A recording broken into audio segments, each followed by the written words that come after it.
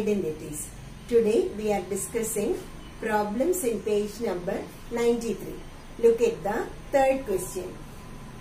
Find out the larger product of each pair below without actual multiplication. We are discussing the first question. We have to find out the larger pair out of these two. What does it mean? We are going to use the identity. We have to use the suitable identity to find out the larger pair. Okay.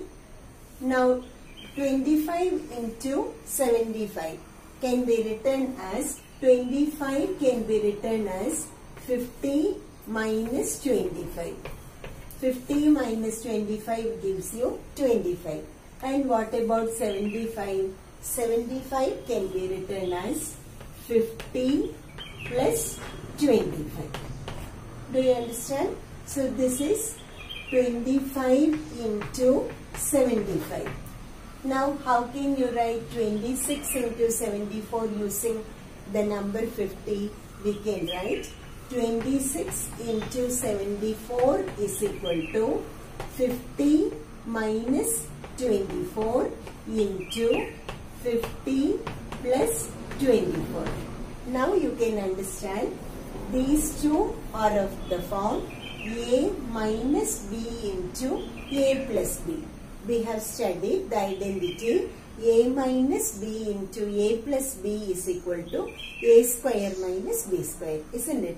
So the answer for the first one is we can write 50 minus 25 into 50 plus 25 as 50 square minus 25 square and this is equal to 50 minus 24 into 50 plus 24. So we can write it as 50 square minus 24 square.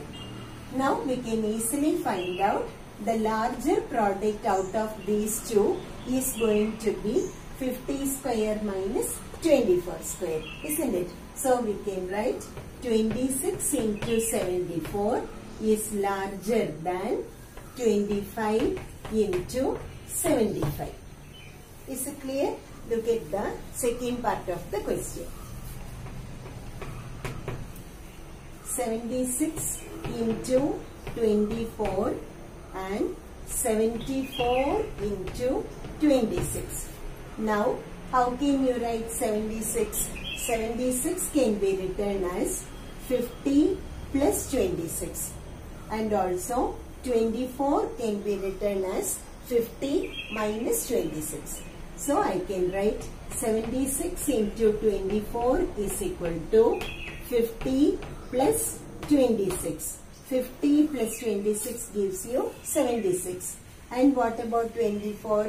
We can write it as 50 minus 26. Now this is of the form a plus b into a minus b which gives you a square minus b square. So we get 50 square minus 26 square. Take the next one. Next product is 74 into 26. We can write 74 as 50 plus 24. So we get 50 plus 24 into 50 minus 24 gives you 26. Again this is of the form a plus b into a minus b which gives you a square that is 50 square minus 24 square. Now looking at these two answers we can easily understand 50 square minus 24 square is always greater than 50 square minus 26 square. So we can write 74 into 26 is greater than 76 into 24. Look at the third part of the question. Third part 10.6 into 9.4 10.4 into 9.6. We have to find the larger product. Now we can write 10.6 into 9.4 can be written as 10.6 is 10 plus 0.6 and 9.4 can be written as 10 minus 0.6. From this you can understand this is of the form a plus b into a minus b which again gives you a square minus b square. So you get 10 square minus 0.6 the whole square. Similarly, we can write 10.4 into 9.6 as 10 plus 0.4 into 10 minus 0.4 which is equal to 10 square minus 0.4 the whole square. Now by looking at these two answers you can understand 10 square minus 0.4 the whole square value will be always greater than 10 square minus 0.6 the whole square. So we can write 10.4 4 into 9.6 greater than 10.6 into 9.4.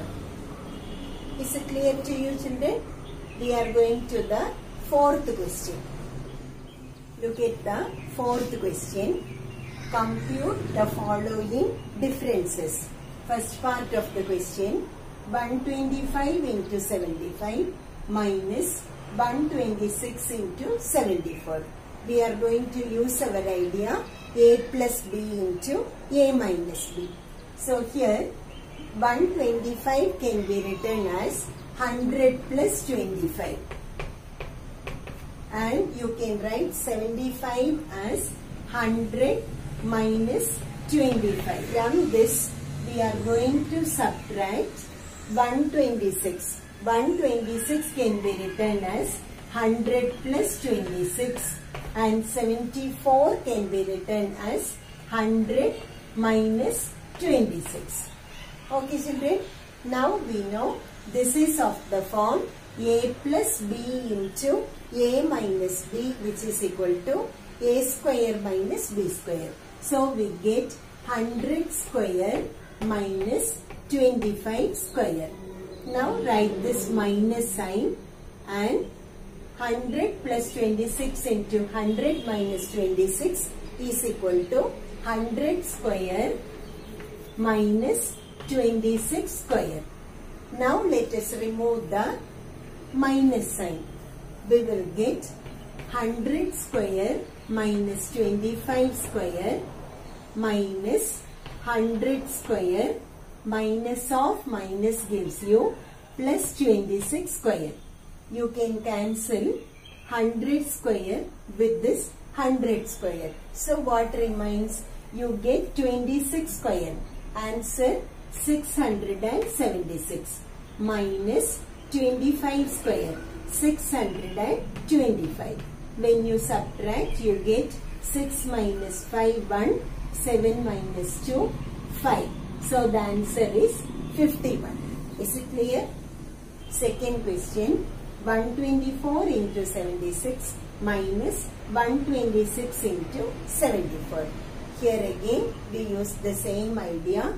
124 can be written as 100 plus 24 and 76 can be written as 100 minus 24. Is it clear children? Now write this minus sign. Minus of, we are going to write 126 as 100 plus 26. So you get 100 plus 26 into 74 can be written as 100 minus 26. This is of the form a plus b into a minus b which gives you a square that is 100 square minus 24 square minus 100 plus 26 into 100 minus 26 gives you 100 square minus 26 square. Let us remove the minus sign. We get 100 square minus 24 square minus 100 square minus of minus become plus. So you get plus 26 square. minus 100 square cancels with plus 100 square. We know 26 square is 676 minus 24 square is 576. We get 100 to be the answer. Let us discuss the remaining problems in our next video children. Thank you.